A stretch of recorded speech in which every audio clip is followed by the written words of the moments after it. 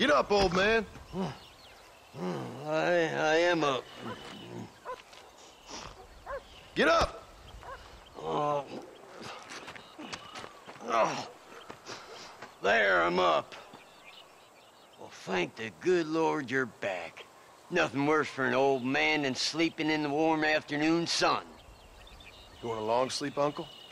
That can be arranged. It'll cost me less than food. You always was a hard and nasty man, John Marston. You always was a useless, conniving thief.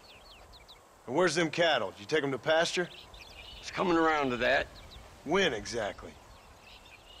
It's easy to pick on the elderly. It's easy, but it ain't dignified. Come on, old man. Do this together. What are you looking at, old man? There's some Mustangs and some such out there beyond that ridge. Wondering if it was worth getting you and going around some of them up. Fair enough. We're nearly out of money.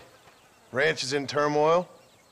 We may not make it through the winter. What could we possibly want with some good quality horses? Come on. That tone of voice ain't so becoming on you.